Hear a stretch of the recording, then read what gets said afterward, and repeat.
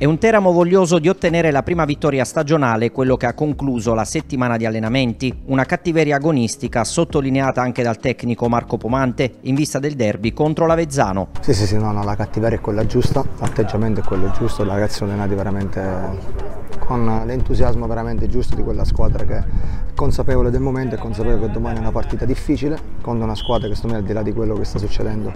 ha un'ottima rosa quindi non è una partita da sottovalutare. Atmosfera complicata in casa marsicana con il subentro in panchina del nuovo tecnico Pokesci che inevitabilmente comporterà una reazione da parte dell'Avezzano. Sicuramente di fronte troveremo una squadra con un atteggiamento importante, con una cattiveria importante perché come hai detto tu dopo un cambio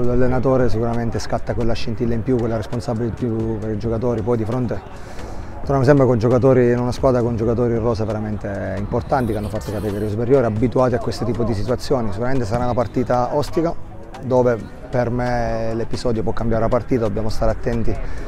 a portare l'episodio dalla parte nostra, stare concentrati e a curare molti particolari. Riguardo l'11 titolare qualche piccolo dubbio per Pomante legato più che altro a come saranno le condizioni del terreno di gioco del Savini. I dubbi ci sono, devo valutare anche la situazione pure del campo di Notaresco per vedere se è un campo pesante o meno perché